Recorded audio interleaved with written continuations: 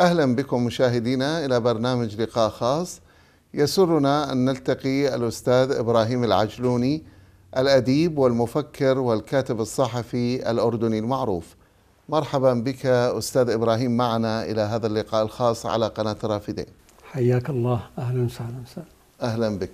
أستاذ بداية حدثنا عن بداياتك الأكاديمية والمهنية والعملية.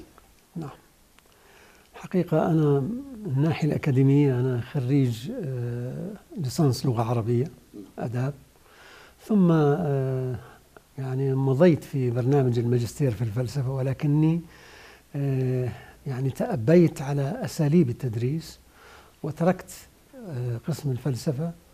وخلال شهر كنت أهديهم كتابي في الفلسفة والخطاب القرآني. ثم اعتمدت على نفسي في الثقافة وبالتثقف والتعلم. ومضيت عصاميا على هذا على مدى هذا العمر. وبحمد الله يعني أنجزت 44 كتابا في شتى حقول الثقافة والأدب. وعملت في مناصب أو في يعني أماكن متعددة. كنت مستشارا في وزارة التعليم العالي وكنت مستشارا في مركز دراسات الرأي وكنت رئيسا للقسم الثقافي في الإذاعة الأردنية فترة. وكنت أيضا مسؤولا ثقافيا في جريدة الرأي لمدة ربع قرن أو أكثر وكاتب زاوية يومية أيضا بعنوان أفق في جريدة الرأي لمدة 25 عاما. وشغلت أشياء أخرى أيضا ولكن هذا يعني وجه عام يعني هذه أهم الأشياء التي قمت بها. نعم. خلال هذه الفترة كيف تنظر إلى الواقع الثقافي العربي وأيضا في الوقت الحالي؟ والله شوف أنا آه، أعتبر نفسي تلميذا لذلك الرعيل الأول الذي كان آه، موجودا وحاضرا في مطلع القرن العشرين. فأنا أعتبر نفسي من تلامذة آه، الرافعي والمازني والعقاد وطه حسين وأحمد أمين والبشري وهذا الرعيل من المفكرين. وتأثرت بأساليبهم وبخاصة العقاد رحمه الله. ثم آه، كان من مبلغ تأثري ببعض الكتاب أنني آه، أخرجت كتبا على بنفس أسماء الكتب التي أخرجوها. مثلا للرافعي رحمه الله كتاب وحي القلم ثلاثة مجلدات. أنا أصدرت كتابي وحي الآفاق في ثلاثة مجلدات أيضا. كتاب هذا مقتبس من لا لا مش مقتبس هذه نعم. مقالات مني. نعم. ولكن لأن كان لي زاوية اسمها أفق في جريدة الرأي لمدة ربع قرن. تعرض اخترت, عليها. اخترت من هذه الزاوية ما آه، مكنني من أن أخرج هذه الثلاثة أجزاء بعنوان وحي الآفاق.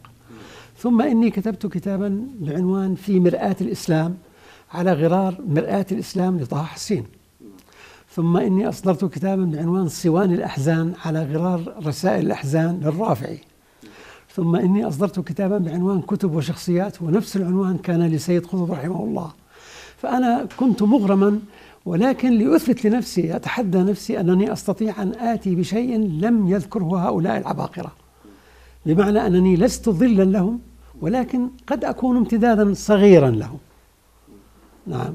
ثم تواصلت توالت الكتب بحمد الله ويعني أعتبر نفسي آه، وأنا الآن في الرابعة والسبعين أنني لم أنجز إلا ما يقارب 20 إلى 30% مما كنت أطمح إليه نعم. وما زلت تصدر الكتب إلى الآن الحمد لله أنا صدر لي كتاب الأخير رقم 44 صف الاعتبار في حصائد الأنظار ويتضمن آه، شيء من الكلام حول فكرة رئيسة وهي ضرورة أن ننتهي من واقعة الانبهار بالغرب. الانبهار بالغرب هذا عجز لا لا ينبغي لمسلم أو عربي أن يمارسه. لأن العربي إذا خرج من مشكاة القرآن وخرج آه، تلميذا لأولئك العباقرة في أصول الفقه وأصول الدين والبلاغة العربية وعلم الكلام وما إلى ذلك يعني لا ينبغي عليه أن يصغر أكتافه أمام أي حضارة أخرى. هذه يعني هذه الفكرة الرئيسية في الكتاب فضلا عما فيه من كتابة على غرار نمط المقامات الهمذاني وكليلة ودمنة في نوع من الأدب الرمزي السياسي. إلا أنني حقيقة الآن آه، يعني أعكف أو العد التنازلي بدأ لكتابين اثنين أراهما آخر ما سأختتم به حياتي إن شاء الله.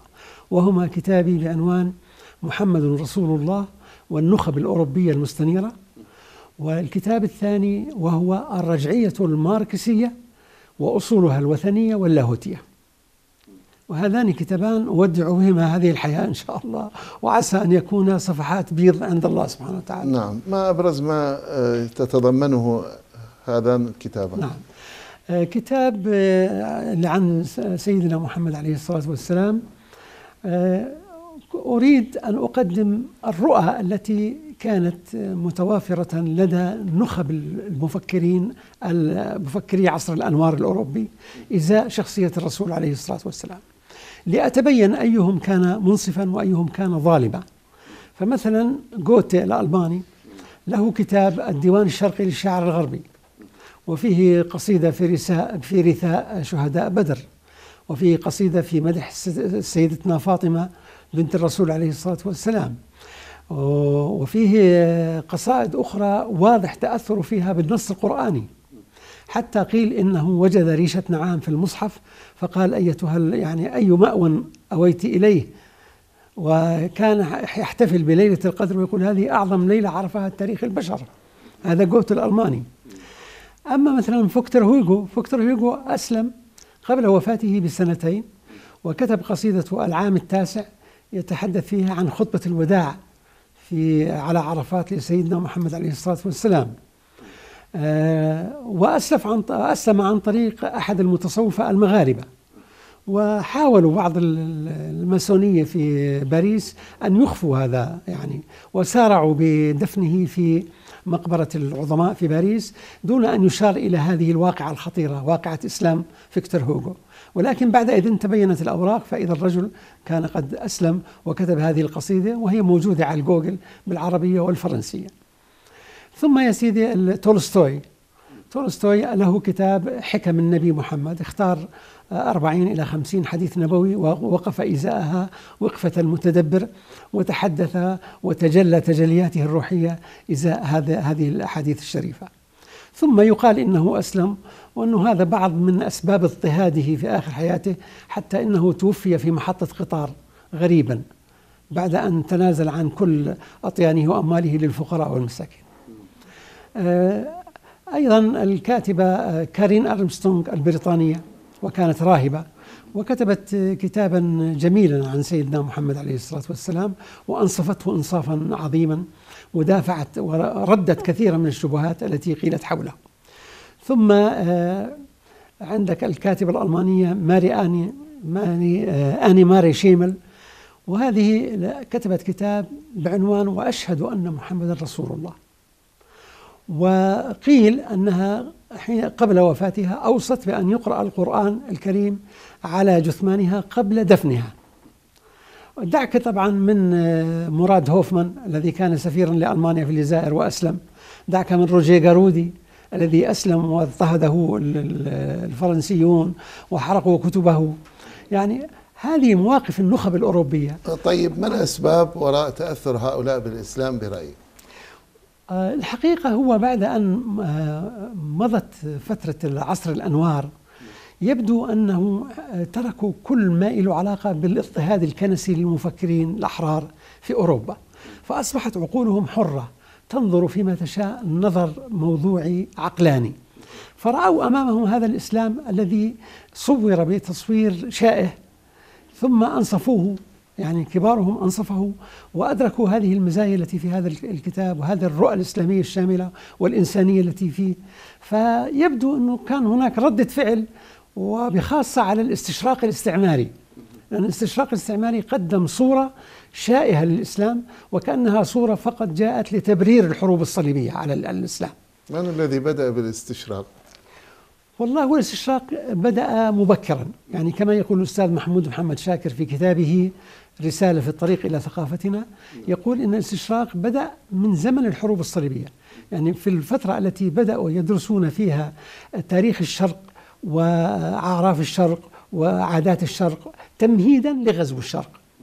فهي تعرف مراحل الصدام مع أوروبا الصدام العربي الإسلامي كثيرة منها أيام البيزنطيين ومنها أيام الحروب الصليبية ومنها أيام الاستعمار الحديث. فهم الاستشراق عندهم نزعة آه، يعني آه، هدفها الرئيسي هو خدمة الاستعمار. ليس هناك يعني خلينا نقول آه، سبب موضوعي لدراسة الشرق للاقتراب منه لفهم شو هذا الشرق. ولذلك لما كتب إدوارد سعيد كتابه الاستشراق فضح هذه النزعة. لأنه أرادوا أن يجوهروا الشرق من حيث هو حالة متخلفة.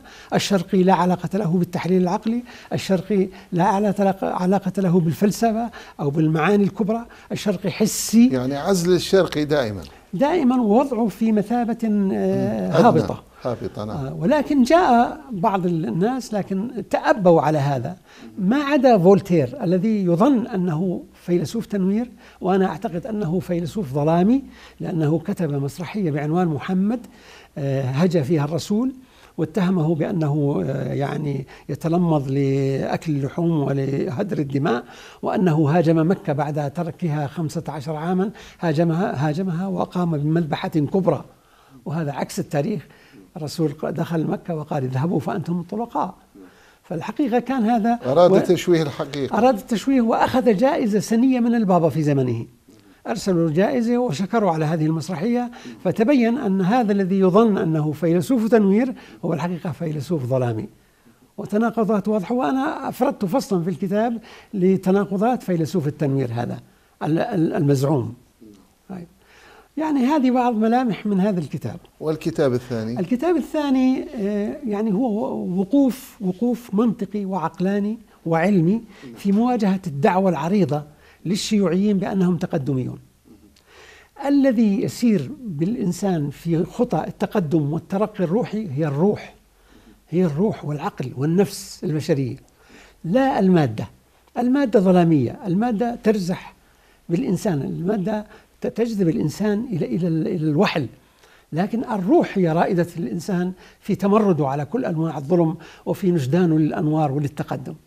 فهذه الفكرة الحقيقة بدأتها أنا منذ مجمع نيقيا الذي عقده القسطنطين عام 325 للميلاد. في هذا المجمع أقروا الثالوث الكنسي. وجاء الجدل الهيجلي لمحاولة إيجاد معادل منطقي للثالوث الكنسي النيقاوي. فالدعوة آه، الأولى أو الطرح الأول في منطق الجدل عند هيجل هو الله سبحانه وتعالى بمعنى المطلق اللامحدود آه، الله اللانهائي ثم النقيض اللي هو الإنسان المحدود الفاني ثم يأتي الكومبرومايز أو الحالة التركيب المركب الوسط منهم وهو السيد المسيح الذي هو لاهوت وناسوت في آن واحد. هذا الجدل الهيجلي جاء تبريرا لأنه كان هيجل بصدد أن يكون شماس في كنيسة ورجل دين.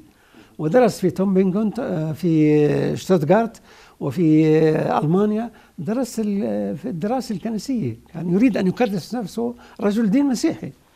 فأراد أن يعني أن يقوم بإيجاد معادل منطقي للثالوث النقاوي الذي فرضه آه، قسطنطين فرضا وقتل الموحدين في في ذلك المؤتمر، يعني كان هناك آه، آريوس الموحد قتل آريوس وأول حملة صليبية على بلاد الشرق مرت بآسيا الصغرى فقتلت ثلاثين ألف من أتباع أريوس الموحد وهو أنا بعتبره أول شهيد في الإسلام إذا صح التعبير.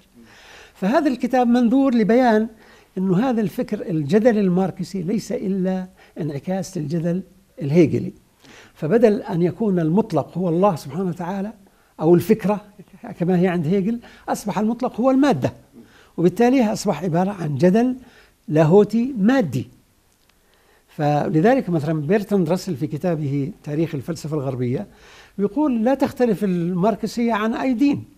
فيها شيطانها اللي هو الرسمة العالمية وفيها الجنة الموعودة البروليتاريا وفيها إبليس وفيها كذا. يعني يضع الأمر يعني فعلا هذا لاهوت ولكنه لاهوت مادي كما يقول مفكر عندهم اسمه فيورباخ. فبالتالي نحن مبهورون أو يعني يريد الماركسيون في العالم العربي أن يوهمون بأنهم هم التقدميون وأنه الآخرون هم رجعيون لأنهم لهم فكر مثالي أو فكر روحي أو كذا والعكس هو الصحيح. لا يجعلك متأبيا على الذل والظلم والعبودية إلا روحك المتمردة على كل هذا. الروح هي قائدة المرء في في طريق التقدم. المادة تهبط بالإنسان وتضع في دائرة ضيق العطن يصبح فيها ولا يمكن أن يفكر تفكير حر رائد نعم. هذان تقريبا هذه فكرة عن الكتابين نعم. تمام آه، أستاذ إبراهيم لديك يوميات عراقية نعم. صدرت في العام 1990 نعم. ما الذي تضمنته؟ يا سيدي كتاب يوميات عراقية الحقيقة يتضمن آه ثلاثة أجزاء الجزء الأول هو الحالة العراقية وسيناريوهات المستقبل لأني كنت أقول فيها أن العراق مهيأ لأن يكون قوة عظمى والمستقبل للعراق وبالتحالف مع ضحايا الصهيونية في العالم. يعني بمعنى الألمان كانوا ضحايا ودفعوا أثمانا كثيرة والعرب بقية العرب والفلسطينيين ثم العراق بما يمثله من نهضة الأمة واسترجاع لذاكرتها الحضارية. فالعراق مهيأ لأن يكون يعني قوة عظمى ولكن ليست قوة ظلامية. قوة آه، النور والسلام والثقافة. وأنت تعرف أن العراقيين يعني كان الكتاب يطبع في مصر في آه، يؤلف في مصر ويطبع في بيروت ويقرأ في العراق. فالعراق كان رائد الأمة. وفيه آلاف العلماء الذين الصهيونية لاحقتهم وقتلتهم وكان لي محاضرة مرة في هيئة علماء العراق حول آه، الشهيد الراوي العالم العراقي. يعني الحقيقة كانوا يتتبعون العلماء العراقيين حيثما ذهبوا في العالم ويقتلوهم. وهذا دليل على أن الغرب والصهيونية يخافون من نهضة العراق ومن قيادة العراق للأمة. لذلك هم أرادوا أن يقسموا ظهر العراق. ولكن العراق بإذنه تعالى سيتعافى ويتعافى من قريب رغم كل هذا الكيد. في يوميات عراقية أنا أثناء الحرب الغربية العالمية ضد العراق كنت أكتب زاويتي اليومية في جريدة الرأي. فذهبت إلى رئيس التحرير قلت له أنا يوميا أنا أنا عندي يعني فيض من المشاعر باتجاه العراق. فأرجو أني أكرس أنا هذه الزاوية أفق كلها فقط للعراق خلال هذه المعركة. فكتبت 30 زاوية كلها موجهة حول هذه المعركة. أمتي أمتي الآن مهددة بالخطر هاي كانت في نعم. عام 1990 إبان العدوان على العراق إبان نعم لكن جمعتها أنا بعد إذن نعم. جمعت هذه اليوميات مع كتاب كلام ما كتبته عن سيناريوهات المستقبل والعراق وكتبت افتتحت الكتاب بأنه حوالي 200 من حرائر العراق رمينا أنفسهن في دجلة حتى لا يغتصبن عرفت كيف؟ على جسر الجسر المنصوب على دجلة. وهذا يدل على أن العراقي عنده الشرف العربي أهم شيء في الوجود. فهذه المشاعر هي اللي كانت وراء هذا الكتاب. آه، أيضا أستاذ إبراهيم أشياء أخرى ذكرتها في كتاب يوميات عراقية كنت تتطرق لها؟ يعني عموما كل ما كان له علاقة بالنهوض بروح الأمة وعدم الاستكانة لهذه الواقعة لأنه كما يقولون الكثرة غلبة الشجاعة. يعني تحالف ثلاثيني يهاجم العراق وأول ما يدمر في العراق يدمر مكتباتها ومتاحفها والروح الحضارية فيها. هذا الذي كان يثير غيظهم. لا يريدون لهذه الأمة أن تنهض. فبالتالي كان هو التركيز الرئيسي على أن لا يعترينا القنوط أو أو اليأس. فالحقيقة يعني الذين قال لهم الناس إن الناس قد جمعوا لهم فاخشوهم. الحقيقة لا. رغم هذا الجمع العراق بقي صامت. وبقي الآن أنا برأيي كل المؤامرات الآن الموجودة لتفتيت الوحدة العراقية هدفها الرئيسي أن لا يكون نهوض لأمة العرب والمسلمين لأنه لن تنهض أمة العرب والمسلمين إلا بالعراق. هذه قناعتي. نعم. أستاذ تجولت في ثقافات الشعوب وأديانها ما الذي أثار اهتمامك؟ والله شوف سيدي أنا بعتقد في كتابي الأخير صفو الاعتبار في في معنى الإسلام هناك فصل في معنى الإسلام. أنا أعتقد أن الإسلام هو دين الأرض كلها منذ آدم إلى آخر نبي وما من أمة إلا خلا فيها رسول. وبالتالي كل أمم الأرض جاءها أنبياء وجاءوها بالإسلام وبالتوحيد. لكن حين يتراخى الزمن وتكون الشقة بعيدة بين آه، الرسول والنبي ورسالته ثم يصبح بعد إذن في هناك خرافات دخلت وأساطير ويعني أشياء أبعدت الناس عن الدين الحق. ولكن الدين الحق ظل حتى نهاية الرسالة الخاتمة رسالة سيدنا محمد. فكل أمة فيها أثارة من الإسلام. يعني البيروني حين كتب كتابه آه، تحقيق ما للهندي من مقولة في مرذولة في العقل أو مقبولة كتب عن الهندوس والبراهميين وكذا وقدم صورة عن رؤيتهم لله سبحانه وتعالى في الذات والصفات. فحين تقرأه أنت؟ تقول يا إلهي هذا هذا هذا عندنا نحن المسلمين. لكن كيف عندهم ذهب مع الزمن وتراخي السنين والعقود؟ بدأت تتشوه الحقائق. لكن الإسلام جاء لنفض الغبار عن كل هذا وتقديم التوحيد خالصا للأمم. فكل الأمم أنا باعتقادي هي مسلمة باعتبار أنه ما من أمة إلا خلف فيها رسول. فالمسلم حين يأتي إلى العالم ويقول أنا يا قوم آتيكم بدينكم الأصلي. أنا آتي للهنود للصينيين للأمريكان للأمم كلها. أنا لا آتيكم بدين غير دينكم الأصلي الذي يعني علاه الصدأ. وعلته الأتربة. أنا أنفض الغبار وأزيل هذا الرين من أجل أن أقدم لكم الدين خالصا متجوهرا لامعا بريئا من كل أذى. فبالتالي الأمم في اعتقادي دعوة الإسلام هي دعوة لإزالة الغبار لإعادة الروح البشرية والفطرة الإنسانية إلى حقائقها الأولى. نعم. آه، أيضا عملت في مجال الصحافة والإعلام لسنوات طويلة. ما هي أبرز المحطات نعم. التي أثارت انتباهك؟ وكنت تطمح لأن نعم. تقدم فيها الأكثر نعم.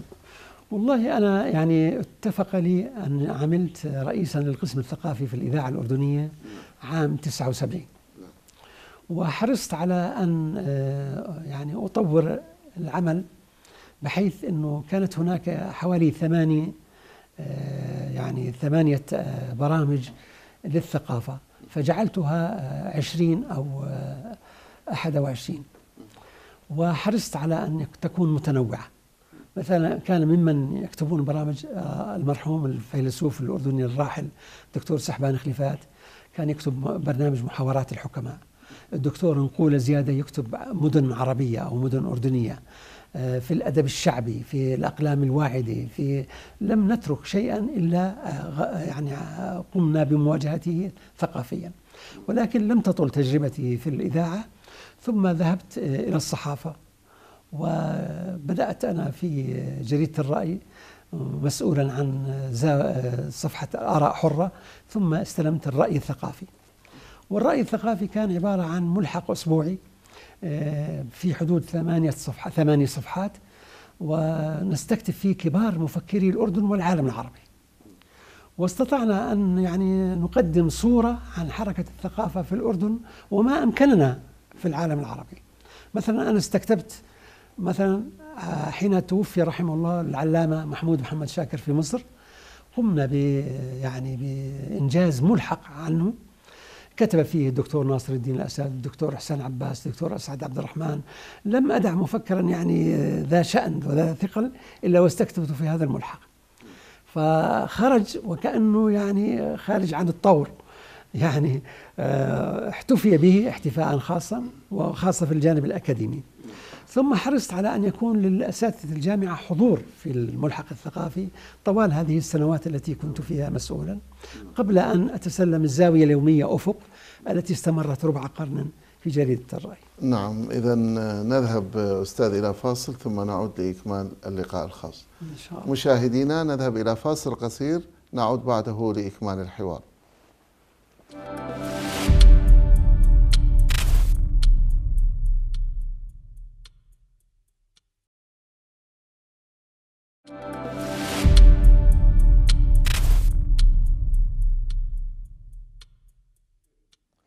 أهلا بكم من جديد مشاهدينا إلى لقاء خاص. عدنا ثانية بعد الفاصل في هذا اللقاء الخاص مع الأستاذ إبراهيم العجلوني الأديب والمفكر والكاتب الصحفي الأردني المعروف.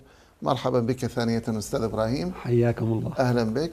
آه لديك الكثير من الدواوين الشعرية والمؤلفات الكثيرة نعم. المتنوعة. نعم. آه حدثنا عن هذا التنوع. آه، الحقيقة أستاذي أنا بدأت شاعرا. ثم ملت إلى القصة القصيرة. ثم كتبت الرواية وكتبت المسرحية.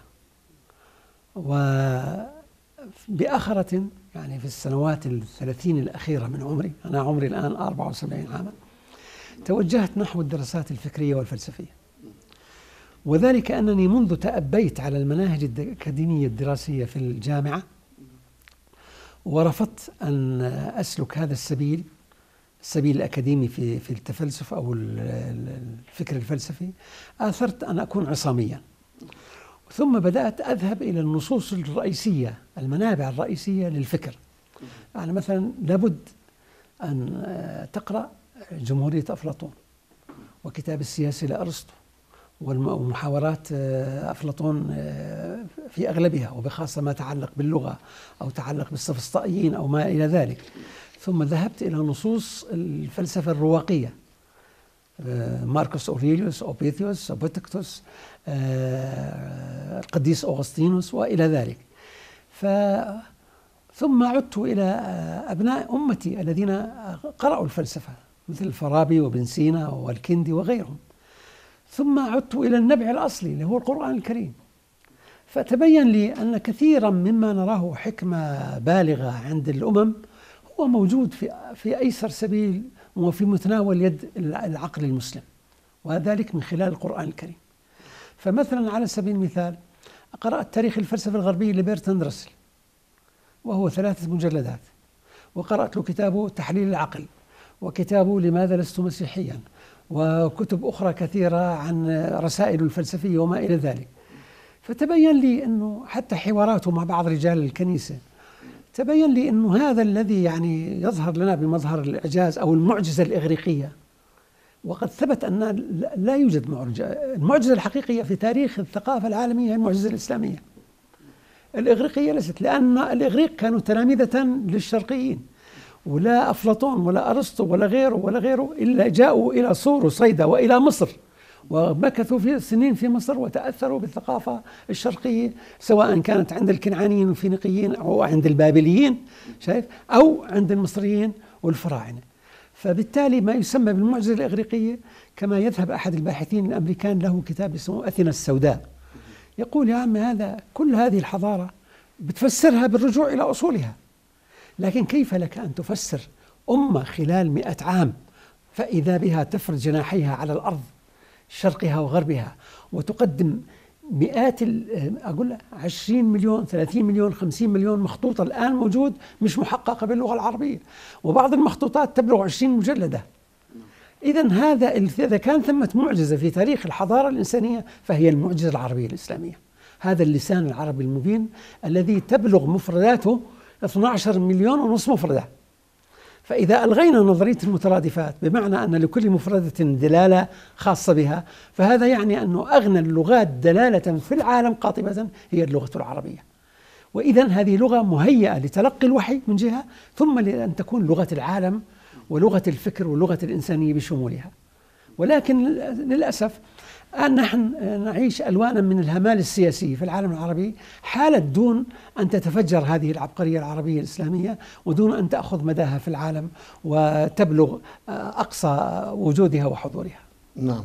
آه، إذا أمة اقرأ لا تقرأ. لا تقرأ. صحيح. أو تقرأ القليل. نعم. ما الأسباب برأيك وراء ذلك؟ يا سيدي أول تعليم إلهي نزل إلى رسولنا الكريم عليه الصلاة والسلام لم يقل له الله سبحانه وتعالى صلي. ولم يقل له صم. ولم يقل له جاهد. ولم يقل له ابني مجتمعات ولم يقل أي شيء. قال له اقرأ. فأول فريضة في تاريخ الهدي المحمدي والإسلامي القراءة. هي القراءة. نعم. لذلك لا نعجب إذا كتب الأستاذ العقاد كتابه التفكير فريضة إسلامية.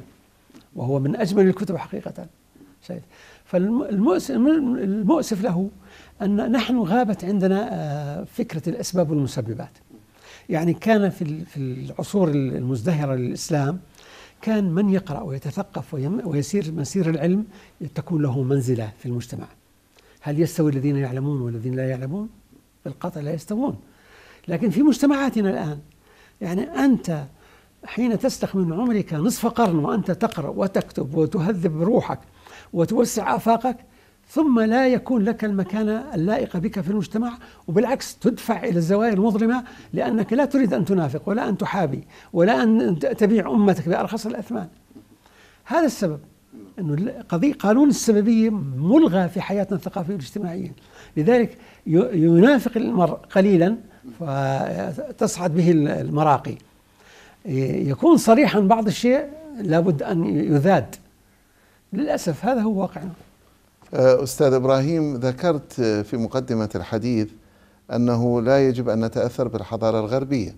الآن لدينا شباب يتأثروا أه، والجيل المقبل. كثير التأثر بالإنترنت وكثير من ما أرسله إلينا الغرب. كيف تنظر إلى ذلك؟ هو سيدي أنا يعني على وجه التحديد لم أقل لا نريد أن نتأثر بالحضارة الغربية قلت لا نريد أن ننبهر. التأثر شيء طبيعي في الحياة. نعم. كل أمة تتأثر بالأمة أمم الأخرى نعم. وبالعكس قد يكون هذا سبيل سبيل لتلاقح الأفكار ولنمو الذاتي للأمة. نعم. التأثر مطلوب لكن الانبهار مرفوض. لماذا أنبهر أنا بفيلسوف مثل بيرتراند راسل وأنا عندي ابن سينا مثلا؟ لماذا أنبهر بأي نص فكري آه، أو أدبي وعندي القرآن الكريم والحديث النبوي وعندي أساطين البيان؟ الجاحظ عندي خير من كل فلاسفة التنوير الأوروبيين. أبو حيان التوحيدي أين له مثيل؟ كل محاورات أفلاطون وأرسطو إذا جمعتها ومحاورات الحضارة الإغريقية مع الإمتاع والمؤانسة والمقابسات لأبي حيان آه، أين سيكون آه، حجمها؟ إذا أنا لا أنبهر. أنا رجل أخرج من مشكاة القرآن ومن مشكاة الأدب العربي هذه الأمة العظيمة. لذلك ما ما برمي واطي كما يقال الإنسان. لا أصغر أكتافي. هذا المقصود إنه لكن التأثر مطلوب. نحن نتأثر لكن نتأثر نستوعب ونتجاوز. أنا أؤمن بنظرية الاستيعاب والتجاوز. أستوعب المعطى أو المنجز الحضاري الغربي المعرفي ولكني أتجاوزه برؤيتي القرآنية. القرآن رسم لي أفق مثل قوس القزح أفق واسع جدا. لا بأس أن أؤثث أنا هذا الأفق متاثرا بأي شيء لكن يبقى الأفق هو الأفق القرآني. لا أفقد أصالتي. وهذا هو المقصود. يعني نأخذ الأشياء الجيدة ونرمي الأشياء السيئة. طبعا هو الحكمة ضالة المؤمن. نعم. لذلك أنا لا أقول أن الفكر الغربي كله ساقط. لا. هناك مفكرون رائعون. هناك مفكرون يعني تنحني القامة لهم. ولكن أنا باعتباري ابن حضارة أن حضارتنا لم تنهزم على فكرة. الذي يقول إن الحضارة الإسلامية انهزمت هو مهزوم في داخله. الذين انهزموا هم السياسيون العرب. فقط. الهمالة السياسية هي اللي نزلت رؤوسنا في, في, في الأرض. لكن حضارتنا رافعة الرأس. حضارتنا لم نجد حضارة إنسانية في الوجود مثلها. انظر إلى صلاح الدين الأيوبي حين دخل القدس في الحروب الصليبية منتصرا. كان حريصا على أن آه، يأتي آه، لإحدى النساء فقدت ابنها أن يأتوا بابنها الصغير إليها. ولم تنزل قطرة قطرة دماء واحدة. لم تسفك. قطرة دماء واحدة لدى دخول صلاح الدين. على حين قبل لما دخل الصليبيون سبعين ألف إنسان قتلوا في القدس. كانت الخيل تخوض في الدماء. الغرب هذا المتوحش. الليبرالية الآن الليبرالية المتوحشة هي وريثة الصليبيين. الذي يدعي الحضارة. الذي يدعي الحضارة. وهذا هذا مش موجود حقيقة. فنحن بحاجة لإعادة الموازين إلى نصابها الحقيقي. إحنا أمة العالم كله تآمر عليها. لا يريدون لهذا النور أن يشع لأنه إذا شع نور العروبة والإسلام في العالم وأنا لا أفصل بين العروبة والإسلام. أنا من الذين يعتقدون أن المسيح العربي هو نصف مسلم وأن المسلم العربي هو متضمن في عباءة الإسلام المسيحية والموسوية أيضا. لذلك نحن في الإسلام آمن الرسول بما أنزل إليه من ربه والمؤمنون كل آمن بالله وملائكته وكتبه ورسله لا نفرق بين أحد من رسله. وسيدنا الرسول يقول أنا دعوة أبي إبراهيم وبشارة أخي عيسى. وبعدين الذي لا يؤمن بسيدنا المسيح ليس مسلما. الذي لا يؤمن بسيدنا موسى ليس مسلما. الذي ينكر أي من الأنبياء ليس مسلما. إذا هذا الإسلام هو الدين الخاتم الدين الذي يضم في عباءته كل الأديان. الأشمل والأوسع.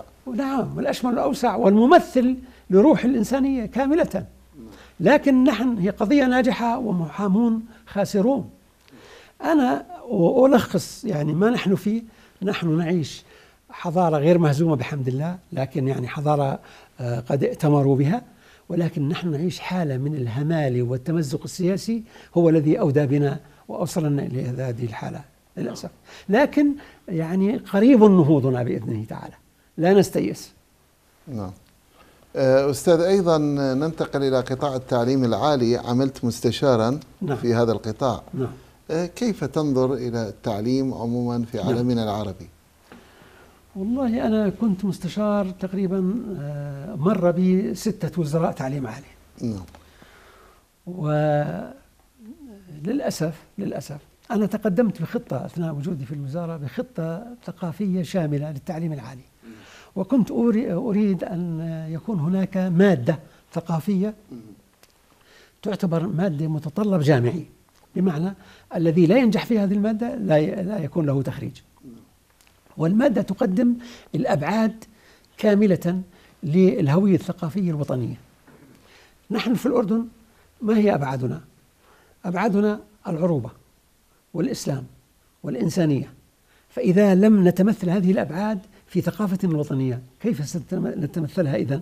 فكان لي مثل هذه الخطة وللأسف يعني كان هناك لجنة الحقيقة الدكتور عوض خليفات كان هو وزير التعليم العالي. ف يعني شكل لجنة أذكر من أجل دراسة هذا الأمر. واستمرينا ستة أشهر تقريبا ثم انحلت اللجنة ولم نصل إلى قرار. أنا أؤمن آه، أن التعليم العالي في بلادنا العربية عموما يمر بمأزق خطير. ذلك أننا يعني نتأثر آه، بالغرب ذلك التأثر السلبي الذي أشرت إليه آنفا. بمعنى أننا لا نفيد من المناحي الأكاديمية التي تهيئ للعقل الإنساني مزيد من آه، آفاق النظر وتزود بمناهج التفكير ولكن نلجأ إلى التلقين عندنا التلقين ثم الحفظ والإعادة ما حفظ على ورقة الامتحان ثم الآن أصبح هناك تيسير للأمور يعني لا توجد صلابة في الدراسة الأكاديمية. يعني أنا أذكر عهدا آه، الدكتور شكري فيصل رحمه الله لما كتب عن الاتجاهات الأدبية رسالة ماجستير قام بها في مصر بقي ست سنوات حتى أنجزها. في الغرب في الغرب كما يقول الأستاذ هشام شرابي طبعا توفي رحمه الله في كتاب له اسمه ذكريات الجمل والرماد أو مذكرات مثقف عربي يقول إن الطالب إذا كان أمريكيا بقي ثماني سنين دأبا يدرس ويتعلم اللغات اللاتيني واليوناني القديم والإنجليزيات ولا كذا وحتى يصل إلى درجة الدكتوراه. أما إذا كان الطالب من العالم الثالث أو من العالم العربي فييسرون الأمر له بحيث أنه ستة أشهر سنة بأقصى يكملها بسرعة. ويكتب على الشهادة not to be used in USA يعني هذه لا تستعمل في الولايات المتحدة. هذه فقط للعالم الثالث. دعهم يظنون أنهم علماء. دعهم يظنون أنهم أصبحوا مفكرين. وليربوا أجيالهم على هذا النمط. فللأسف أنا يعني لا أبرئ آه، الأمر من ائتمار عالمي بالعقل العربي لأنهم يخافون أن يتفتح العقل العربي الحديث على عظمة الإسلام ومناهج النظر في الإسلام ومناهج الأصوليين الإسلاميين ثم يواجه العالم مواجهة أصيلة. يخافون من ذلك. لذلك يبادرون ويستبقون الأمور بحيث أنه قبل أن ينهض هذا العقل يعني تابعه بالمخدرات وبالأشياء التي تنيمه إلى أبد الدهر. آه، اذا كيف يمكن معالجة السلبيات في النظم التعليمية العربية برأيك؟ والله هذا الأمر يعني أمر جلل ومش أمر جهة محددة. هذه إذا إذا لم يجتمع العرب جميعا على ميثاق واحد على مناهج متشاكلة على يعني أنا برأيي إنه طالب التوجيهي في الأردن ينبغي أن يكون مثل طالب التوجيهي في العراق. له معارف تقريبا متشابهة معه. أن حين يهيئ الطالب للجامعه ليس كل طالب اجتاز التوجيهي مهيئ أن يكون جامعي. وليس كل طالب جامعي مهيأ أن يقدم رسائل عليا. نحن لا نهتم مثلا الصناعات تريد لها خريجين خاصين. كل صناعة كل مجال مهني بده آه، خريجين خاصين. نحن لا نهتم فقط أفراد قلائل الذين يهيئون لأن يكونوا فلاسفة؟ رأيت؟ فبالتالي نحن في فقر مدقع إلى مثل هذا التوجه. لكن طبعا لا نستيئس المشكلة الآن أنت ترى الأمة العربية الآن كل منها كل فرد في الأمة يعاند نفسه. دعك من أقاربه دعك من الدول فيما بينها دع المجتمعات الفرق الدينية وما إلى ذلك. نحن في حالة احتراب عجيب جدا. يعني أشداء على بعضنا. رحماء مع مع المستعمرين عرفت كيف؟ رحماء مع اليهود. الآن نحن نسعى لأن يكون لنا إحنا والدين تحت ما يسمى الديانة الإبراهيمية. مع أن سيدنا إبراهيم ما كان إبراهيم يهوديا ولا نصرانيا ولكن كان حنيفا مسلما. أي حوار هذا؟ فيش لا يوجد إلا دين واحد في الأرض هو دين الإسلام. المسيح يقال بأنه الحوار المتمدن. أي متمدن هو الحوار أو الحوار الذي بسبيله إلى أن نسلم أوطاننا أوطاننا جملة وتفصيلا للمستعمرين من أجل إسرائيل الكبرى. فللأسف يعني إحنا نواجه تحديات كثيرة لا أقلها هذا بالنسبة للتعليم العالي. لكن نحن لا نعدم إرادات خيرة موجودة في العالم العربي. لا نعدم وجود أفراد أفذاذ قلائل متفرقين لكن لا يعني لا حول لهم ولا طول للأسف وكما قلت لك أنا ما زلت أؤمن أن الهمالة السياسية وراء كل ما نحن فيه من تردي في كل المجالات. نعم. أيضا لدينا كفاءات تحارب ويهاجرون إلى خارج بلدانهم العربية، ما الأسباب؟ يا سيدي الكفاءات تحارب في مواطنها، هاجروا أم لم نهاجر يعني لو سمحت لي. يعني لا أريد أن أتكلم عن شجن ذاتي إذا صح التعبير. هذا هذا أمر غير وارد لأنه نحن آه، مشكلتنا عامة مشكلة الأمة مش مشكلة أفراد. الأفراد فليذهبوا يعني لهم عند الله الأجر. لكن إحنا نحن في العالم العربي حيثما كانت هناك كفاءة فهي مدحورة إلى الصفوف الخلفية. وحيثما كان هناك مداهن أو منافق فهو مقدم في الصفوف في الصفوف طيب لماذا؟ نعم. طيب لماذا؟ هذا لأن هلهلة أخلاقية؟ لأن نحن مستعمرين. لو سمحت لي أخلاق العبيد. يعني نيتشه الفيلسوف الألماني كان يقول ما لا نريد أخلاق العبيد نريد أخلاق الأحرار. وله عبارة جميلة يقول فيها هذه حضارة الغربية جاء مجرمة. لماذا؟ لأنها وأدت تلك المدنية العظيمة التي بناها رجال أحرار في الأندلس. وهذه إيحاء من نيتشه هذا الفيلسوف الألماني إلى أن المسلمين أقاموا حضارة أحرار في الأندلس. لذلك نحن الآن عبيد. كل منا عبد لمجموعة من الشروط الموضوعية المكبلة له فلذلك لا تطلب من العبيد أن يصنعوا أوطانا. لا تطلب من العبد أن يبدع. نحن كلمة السر في نهوضنا وفي حياتنا كلها إضافة إلى العقل والإيمان هي الحرية. نحن بحاجة إلى الحرية في العالم العربي. وأيما نظام عربي أو مجتمع عربي يدعي أن أفراده أحرار فينبغي أن يعيد النظر في نفسه. لأن لو كنا أحرار ما كان يعني مآلنا إلى ما نحن فيه الآن. للأسف. أه، برأيك أستاذ إبراهيم ما علاقة العلم بالوعي المجتمعي؟ والله سيدي العلم يقدم لك طرائق ووسائل للتحقق من الأشياء.